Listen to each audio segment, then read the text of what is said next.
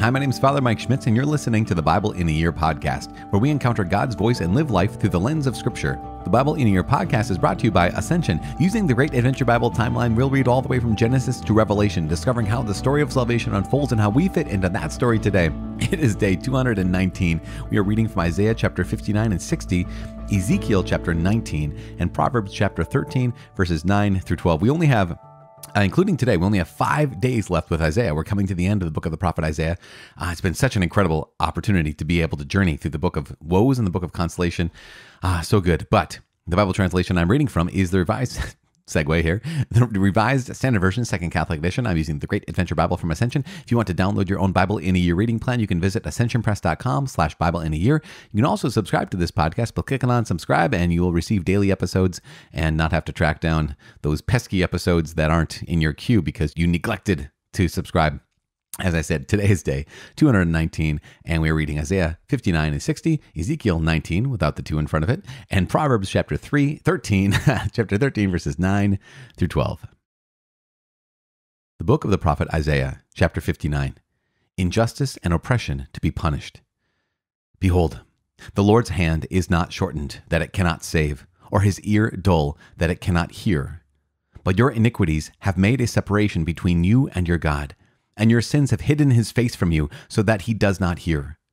For your hands are defiled with blood, and your fingers with iniquity. Your lips have spoken lies, your tongue mutters wickedness.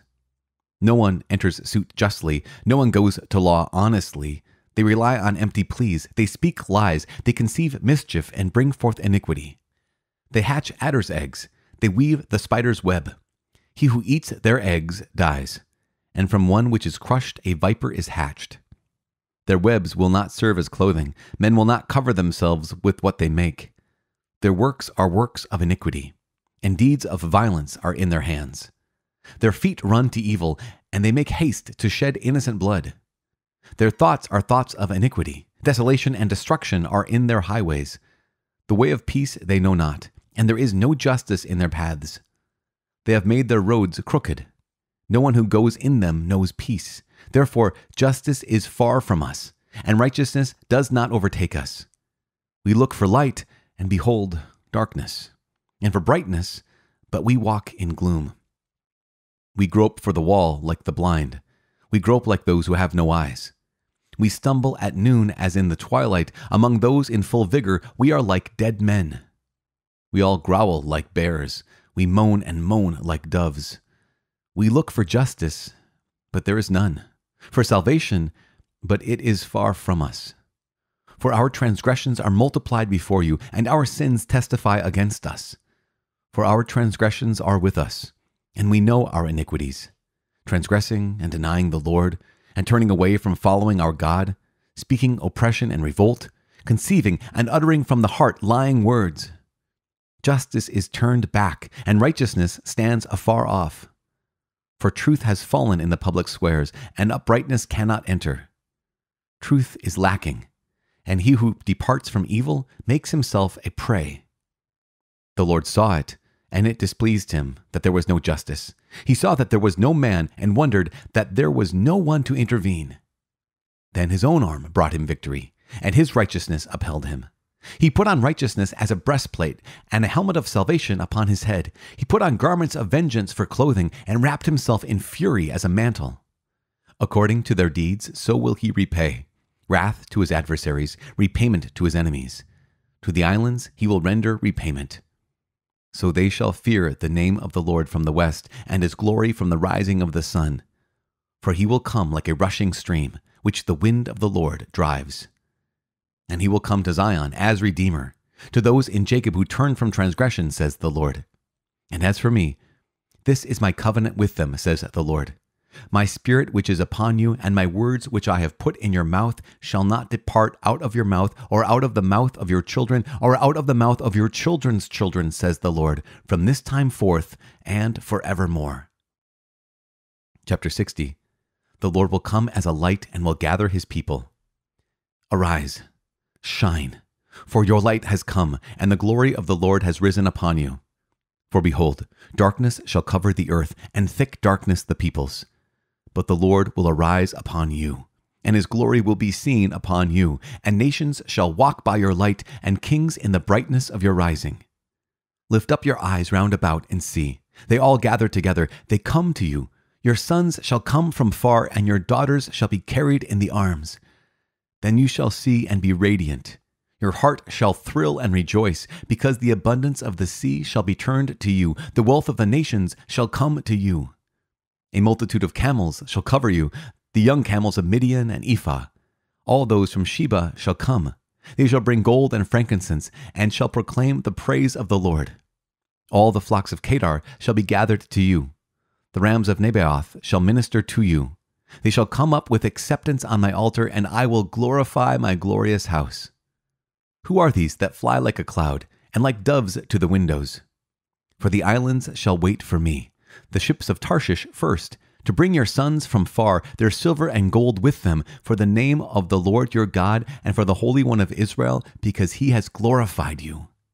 Foreigners shall build up your walls, and their kings shall minister to you. For in my wrath I struck you, but in my favor I have had mercy on you. Your gates shall be open continually. Day and night they shall not be shut, that men may bring to you the wealth of the nations, with their kings led in procession for the nation and kingdom that will not serve you shall perish. Those nations shall be utterly laid waste. The glory of Lebanon shall come to you, the cypress, the plane, and the pine, to beautify the place of my sanctuary. And I will make the place of my feet glorious. The sons of those who oppressed you shall come bending low to you, and all who despised you shall bow down at your feet. They shall call you the city of the Lord, the Zion of the Holy One of Israel whereas you had been forsaken and hated, with no one passing through, I will make you majestic forever, a joy from age to age. You shall suck the milk of nations, you shall suck the breast of kings, and you shall know that I, the Lord, am your Savior, and your Redeemer, the mighty one of Jacob. Instead of bronze, I will bring gold, and instead of iron, I will bring silver, instead of wood, bronze, instead of stones, iron. I will make your overseers peace and your taskmasters righteousness. Violence shall no more be heard in your land, devastation or destruction within your borders. You shall call your walls salvation, and your gates praise. The sun shall no longer be your light by day, nor for brightness shall the moon give light to you by night. But the Lord will be your everlasting light, and your God will be your glory. Your sun shall no more go down, nor your moon withdraw itself. For the Lord will be your everlasting light, and your days of mourning shall be ended. Your people shall all be righteous, they shall possess the land forever, the shoot of my planting, the work of my hands, that I might be glorified. The least one shall become a clan, and the smallest one a mighty nation. I am the Lord. In its time I will hasten it.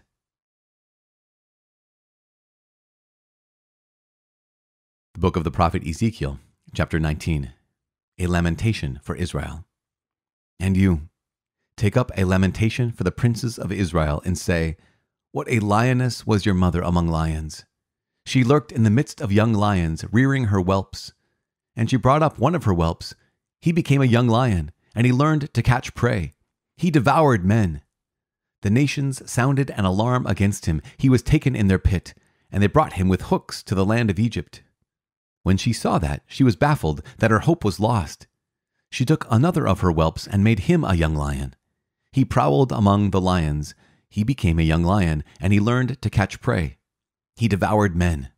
And he ravaged their strongholds and laid waste their cities. And the land was appalled, and all who were in it, at the sound of his roaring. Then the nations set against him snares on every side.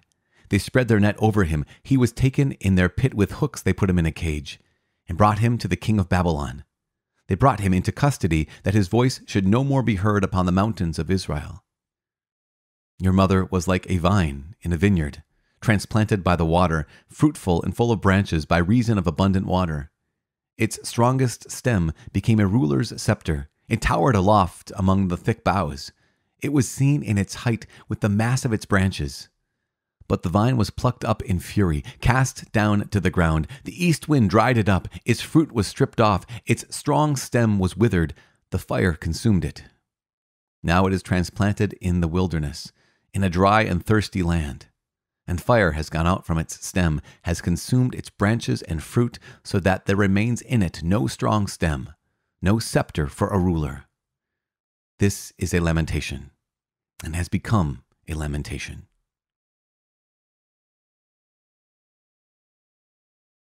Proverbs chapter 13, verses 9 through 12. The light of the righteous rejoices, but the lamp of the wicked will be put out. By insolence, the heedless make strife, but with those who take advice is wisdom. Wealth hastily gotten will dwindle, but he who gathers little by little will increase it. Hope deferred makes the heart sick, but a desire fulfilled is a tree of life. Father in heaven, we give you praise and glory. We thank you so much for your word, and we thank you for giving us um, your presence and your wisdom.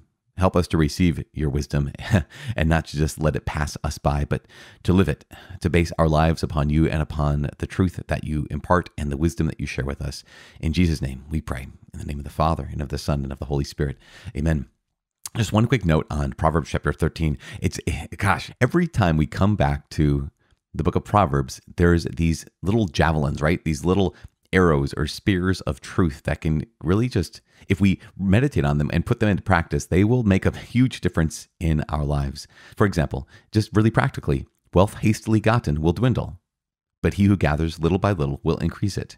And so it makes me think, of course, of the lottery winners or someone who gets this big windfall of cash and doesn't know what to do with it because I've never had this before. So wealth hastily gotten will dwindle. I just—I've won big, I scored big versus little by little. Someone who gathers little by little will increase it because you learn how to live with little, as opposed to someone who thinks, oh my gosh, I have this abundance, and now I, but I've never learned how to live with abundance. I've never had to learn how to manage my resources because I haven't had any resources before. And yet, uh, when we gather little by little or gain little by little, we learn little by little how to increase it. And the same thing is true with material goods, the same thing is true with wisdom. The same thing in some ways is true with faith. We just continue to walk in faith. We continue to increase it day by day. Then we have the kind of faith that can live regardless of what the day is like, regardless of the season. And that's just something, something just really, I think, I don't know, worth meditating on, and not just worth meditating on, but worth basing the actions of our life on. Okay, I, I had said a couple days ago, maybe a while ago, that uh, the prophets are going to be rough, and maybe it is rough for you. That's that's completely understandable. But at the same time, uh, this has been an incredible journey to go through Isaiah. I mentioned at the beginning of this that we only have five days, including today, to go through Isaiah. So only four more sections or some more, four more days when we have uh, Isaiah because there's only six more chapters. 61 we'll do tomorrow, 62, and then we end up on chapter 66. But the prophets have been, it's been remarkable to be able to follow along with them, to be able to see, okay, here's Isaiah. What's the context? Here, he's preaching to a people who will be sent into exile. They will be conquered, essentially. And it will seem like God can't do, but he is going to. He's going to redeem them, he's going to bring them back, but they do have to repent. And that's and it's remarkable because at the beginning of chapter 59, Isaiah makes the makes it very very clear. He says, "Behold, the Lord's hand is not shortened that it can't save, or his ear dull that it cannot hear." And that's one of the claims that we can lay against God is, is that maybe maybe just God can't do this. Maybe He's not listening. And he says, No, the Lord's hand is not shortened that he can't save. It's not like the lack is not in him or his ear dull that he can't hear.